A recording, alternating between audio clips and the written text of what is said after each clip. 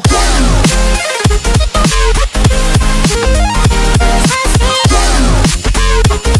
À 29 ans, Mela Bedia est l'humoriste qui montre point que ce soit avec le film Pattaya, sa chronique dans le quotidien pendant la Coupe du Monde ou encore à la radio avec les grosses têtes.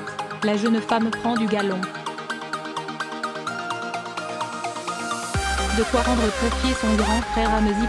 Invité au micro de Jordan de Luxe sur Voltage, la jeune femme a raconté que son aîné lui a pourtant causé bien de soucis plus jeune. C'est dire, elle s'est même retrouvée au poste de police à cause de lui rassurez-vous.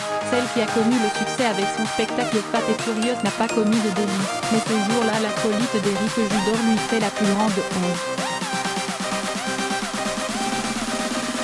Une fois, il devait venir me chercher à l'école.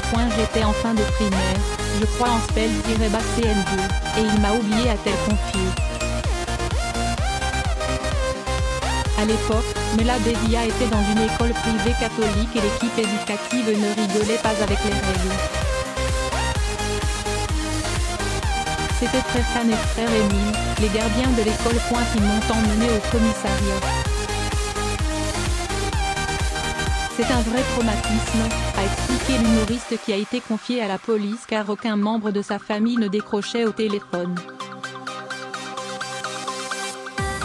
Ramosi s'est fait défoncer par ma mère, a ajouté la jeune femme, qui rit finalement de cette situation qu'il avait pourtant fait totalement paniquer à l'époque.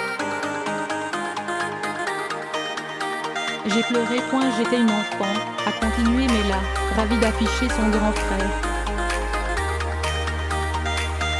On ne sait pas si l'ami de la comédienne Adèle Exarchopoulos s'est depuis rangé de Ramon.